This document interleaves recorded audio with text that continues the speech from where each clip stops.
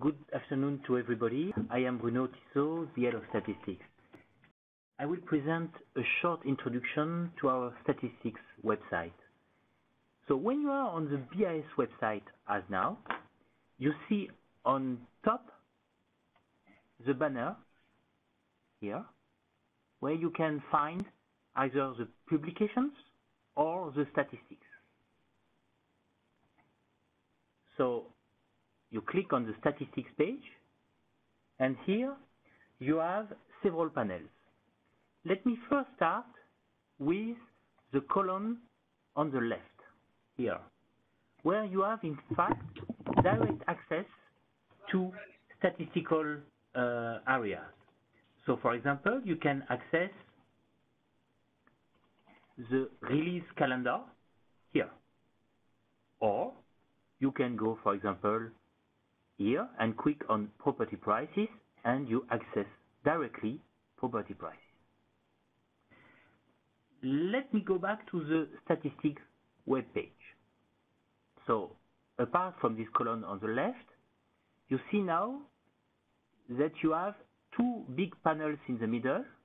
The first one is some statistical publications of interest to you. And let me simply flag the introduction to BIS statistics that you can click here, where you have an overview of our statistics. The second big panel on this web page is on the right, is what we call the statistical data. And here today, we will show you how you can access BIS data using three different ways. The first one, which is what we call the Statistics Explorer, is in order to have predefined views of statistics. You click and you can access. And then you have to download the data in an interactive way, and we will have an example later on.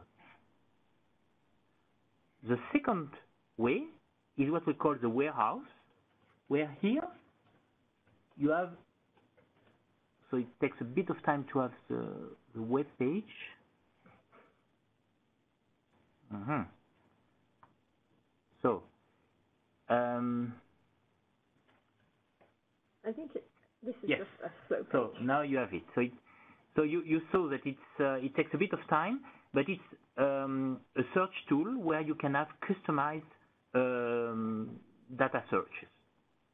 The third way, which is perhaps the easiest one, is to go directly to the publication on statistics, which is in fact what we call the statistical bulletin. You click here, and here you can have PDF of tables on various statistics. And this is perhaps when you are not a specialist of our BIS statistics, the easiest way. Just look around the pages and select the statistics you, you are interested in. Let me go back again to this panel on statistical data. We have a link to the BIS quarterly review, which is very useful because our statistical production is linked to the quarterly review. When you click on this link, quarterly review, you have so a lot of articles using our data, and you have also specific things with the statistics we produce. And I'm highlighting here. Hmm.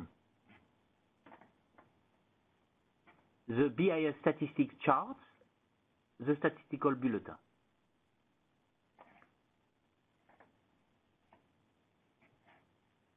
Let me go back to the statistics web page again. And uh, we have mentioned the different ways to access the data. Now I will quickly have a look at the content of our statistics. You just go down on this web page and you see that we have four main groups of statistics. And I will highlight briefly each of them. The first one is what we call the international banking and financial statistics. Here. And you can see that we have three main statistics, which are in fact, to simplify, the statistics that you will just find at the BIS. They are not available elsewhere. These are really the statistics produced by the BIS. You have the banking statistics, where we have two data sets. To simplify, one is on a residency basis, like the national accounts, and another one is on a consolidated stat uh, basis, where you have, for example, data on the French banks that are resident in France, but also resident outside France. So this is the banking statistics. We have the debt security statistics, the third group in this first area. And here you have three data sets. One is the international debt, secu debt security statistics, which is a granular security by security database.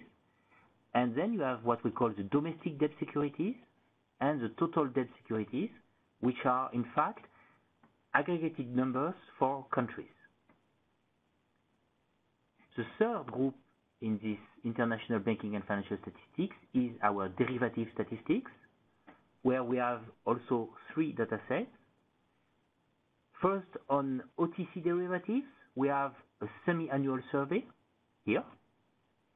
We have roughly the same survey, but in a more comprehensive uh, way and with a greater coverage of countries. And also you have information on forex markets with what we call the triennial central bank survey that you can click. Lastly, we have a data set on exchange traded derivatives. Here, it's only the information on um, exchanges, so it's only a small part of the activities in the derivatives market because there is a lot of activities that is OTC over the counter. So let me now turn to the second group, which is what we call the global liquidity and credit. Here, to simplify, I would characterize this as research indicators. So it is not statistics that we produce uh, only at the BIS, it is statistics that we construct using a variety of Uh, statistics. The first thing is global liquidity indicators that you construct to have an idea of global liquidity conditions. The second one is what we call credit to the non-financial sector. And here, to simplify, you, you have to understand that it is in fact debt data for each country and for each sector. So for example, here you will find the debt of the government sector for a specific country and the series will be comparable across countries and across sectors. Fourth, we have what we call the debt service ratios, which are also indicators we have constructed to see the ability of uh, economic agents to repay debt, including the debt servicing and the repayment of the principal. Lastly, we have, we have what we call the external debt statistics, which is a link to a website where you have all the information on external debt that is provided by the BIS, but also by other international organizations. The third group that you find here called property prices and exchange rates, you can think of it as statistics that are not collected by the BIS, nor um, it's not also research indicators, it's simply long-term statistics that we try to publish. And we do this for property prices, uh, and we do see also for effective exchange rates on a nominal and on a real basis, so deflated by inflation.